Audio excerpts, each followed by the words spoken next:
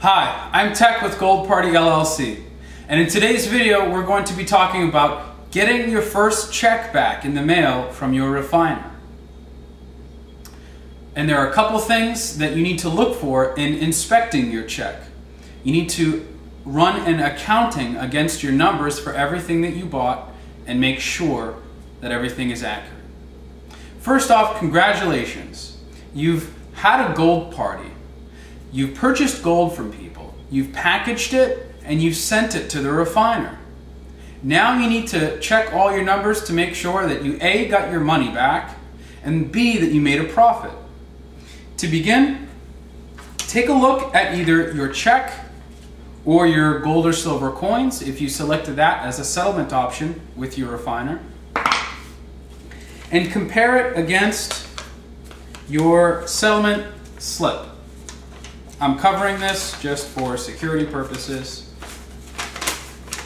And on your slip, you should have a couple items. You should have an incoming weight amount where they weigh the jewelry before they actually melt it and give you an uh, ounce or a gram readout.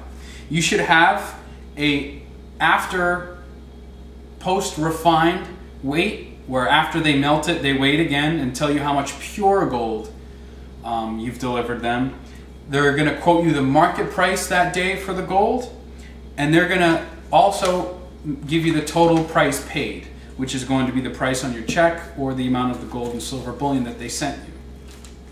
You want to take these numbers and compare them against the slips that you created when you bought gold from all of your customers. Every time I send in a gold uh, shipment package, I make a uh, an envelope full of all my um, receipts, and I go through and I double check each and every one of them, okay, to make sure that that the numbers are all accurate.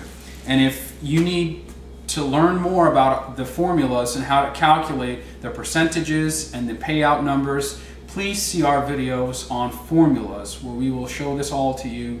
Um, and if you have any questions, don't hesitate uh, to get in touch with us, either on YouTube or um, through our website.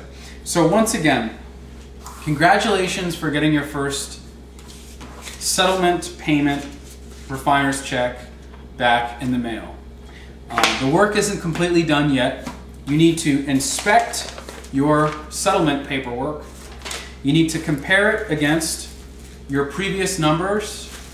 Once you have that done, you want to confirm that they're paying you the amount that they said they would and determine how much money you're making for profit.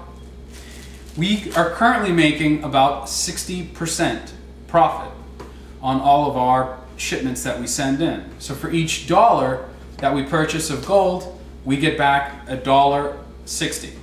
So if it's a thousand dollars that we buy, we get back sixteen hundred dollars from our refiner.